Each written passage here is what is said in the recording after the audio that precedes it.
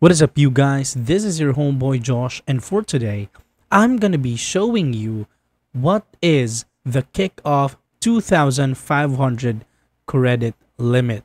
So basically, if you check their website right here, all you see is this. So how much does Kikoff cost? It costs uh, $5 flat per month for the Kikoff credit service. Now actually, there's something missing here because Kikoff offers a premium account which is worth $10 per month and offers you a 2500 credit line. Now, this $5 per month offers only $750 credit line.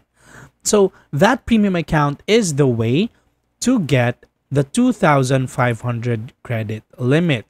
So, you know, with the bigger credit limit, you would have um, bigger uh, rates and you know a faster rate in building your credit. So actually that is all for this video and that is how you get the $2,500 credit limit in Kikoff. So i hope this video helped you a lot. Please do not forget to subscribe. Thank you so much for watching. This is your buddy josh. I'm gonna see you on the next video. Peace out